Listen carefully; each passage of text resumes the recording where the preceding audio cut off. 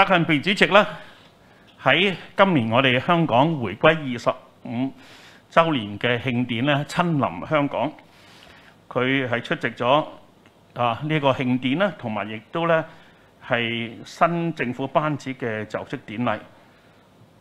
更加重要嘅咧，其實佢喺七一嘅呢篇重要講話咧，係的確係發人心醒。習主席喺講話中係好精闢咁論述咗一國兩制嘅歷史意義，讓我哋更加明白香港係從哪里來往哪里去，更加堅定咗香港長期實踐一國兩制嘅信心。同時都係鼓勵香港各方咧係團結凝聚力量，為民眾排解憂難，亦都讓民眾咧係睇到生活變好嘅希望。特別係讓年青人有更加好嘅發展。啊，正所謂咧家和萬事興，讓我哋咧係大家係參與建設美好家園。咁要實現呢啲願景啦，當然香港社會各界係必須認真學習。貫徹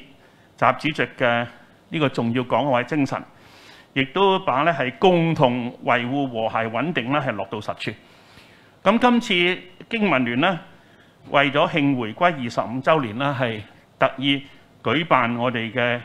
誒青少年認識基本法和一國兩制嘅中文嘅精文比賽啦，係更加係顯得有積極嘅意義。咁啊，今次參賽嘅作品嘅水平的確好高，既有滔滔雄辯嘅議論文章，亦都有生活體驗嘅小品分享。我見到有啲同學咧講下佢同屋企人嚇就呢啲議題嘅交談，同啲同學同先生啊喺呢方面嘅互動，咁我都覺得咧係寫得係非常之好。咁啊，亦都係足證咧參賽者對於一國兩制同埋基本法咧都有相當嘅了解，我呢度咧僅此恭賀各位嘅獲獎者。